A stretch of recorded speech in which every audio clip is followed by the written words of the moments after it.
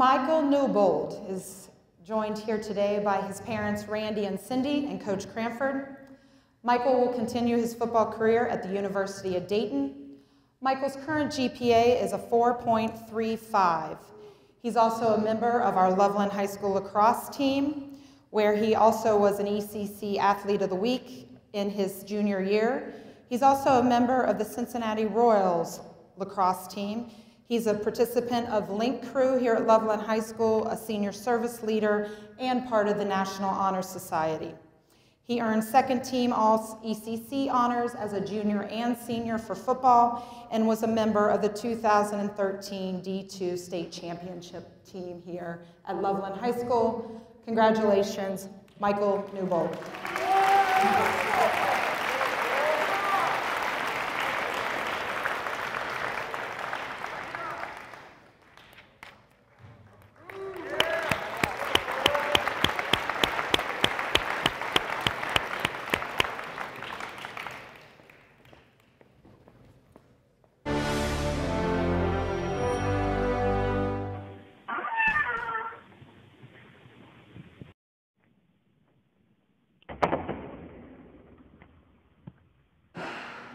we're cooking with gas. Here we are.